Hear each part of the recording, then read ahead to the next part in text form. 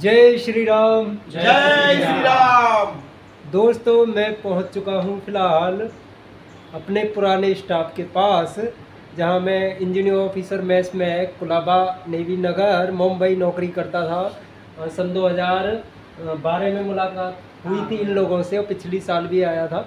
जब भी मैं आता हूँ तो इनसे मिल के जाता हूँ बहुत अच्छा लगता है। दोस्तों कामयाब इंसान के पीछे तो दुनिया भागती रहती है। और बड़े लोगों के पीछे दुनिया ही भागती है। सही बात है। लेकिन हमेशा जो अपनी लेवल के हैं अपनी बराबरी के हैं जो अपनी जड़ें शुरू होती हैं उन्हें कभी नहीं भूलना चाहिए। इन दोस्तों के साथ मेरा मतलब नौकरी जो प्राइवेट करता था शुरुआत इन्हीं के साथ हुई थी। बहुत अच्छा लग रहा है। अभी शुरुआत से ज़्यादा अब प्यार मिल रहा है। पहले तो थोड़ा लड़ाई झगड़े भी होते थे कि नहीं? ये अपना छोटा भाई पिंटू है ये आया है रामलीला देखने हमारे पास। इसे बड़ा अच्छा लगा। और ये भी बोल रहा था भैया आपका तालमेल बहुत अच्छा है दोस्तों से। तो तालमेल बनाने के लिए है ना अपने आप को क्लीन रखना पड़ता है। तो संजय क्या कहना चाहेंगे आज के बारे में तुम? आज के बारे में ज़ोर से बोलो आवाज़ में राम दोस्तों। तो जो भी ये वीडियो देखता है प्लीज़ सपोर्ट कीजिएगा हमारे भाई को एक बहुत मेहनत करते वीडियो बनाने के लिए। भाई मैं इनकी वीडियो वृंदावन से आती है। वो भी सपोर्ट कीजिएगा देखिएगा सब्सक्राइब कीजिएगा वीडियो को। दोस्तों इस वीडियो के माध्यम से हाँ हम ये कहना चाहते हैं हमारा उद्देश्य ये है कि इंसान बनो।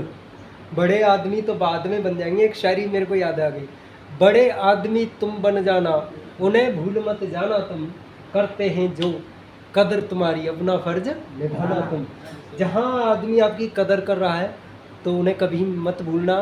इन लोगों का भाव के इतना अच्छा लगा इन्हें पता चला कि मैं मुंबई आया हूँ तो इन्हें इतनी खुशी हुई कि इन्होंने बोला भैया मिलने आओ। अभी मैंने इस संजय को कॉल की थी बहुत अच्छा लगा। और इन्होंने अभी नाश्ता पानी और कराया है खाना भी खिलाएँगे खिला के भेजोगे कि नहीं? पक्का तो दिलीप तू क्या कहना चाहता है? पाटिल आप बोलो। हाँ काका आप बोलो। कुछ नहीं मैं यहाँ 91 में 85 में सर्विस पे लग गया मैं 91 से इस ऑफ़िस में हूँ आज मैं 40 साल सर्विस किया हूँ। 40 साल सर्विस कितने बच्चे लोग आए बच्चे लोग चले गए मेरे जितना ग्रुप है मेरा ये मेरे छोटे बच्चे हैं मेरे कोई भाई है बहनें हैं सब कुछ है। बहन नहीं है इनमें कोई? हाँ, बहनी नहीं है सॉरी सॉरी माफ़ करना बहनें नहीं है सब भाई लोग हैं। मगर एक बात है इनका तालमेल देखो ये पापी पेट के लिए कहाँ कहाँ से हम लोग आते हैं। मगर यहाँ आने के बाद एक परिवार जैसे हम लोग रहते हैं। आज 2012 से लेके बच्चों के इतने छोटे छोटे थे, आज बड़े हो गए, उनकी शादी हो गई उनके बच्चे हो गए। भगवान को दुआ करता हूँ श्री राम को कि सबको खुशी रखे, मंगल रखे अब सबकी मनोकामना पूर्ण करे। दादा जाते जाते मैं रिटायर होने वाला हूँ। जाते जाते ऐसे ही तुम वहाँ रखना और अपने परिवार से जैसे नाता जोड़ते हो, वैसे ही नाता यहाँ जोड़ के रखना। जय श्री राम। जय श्री राम।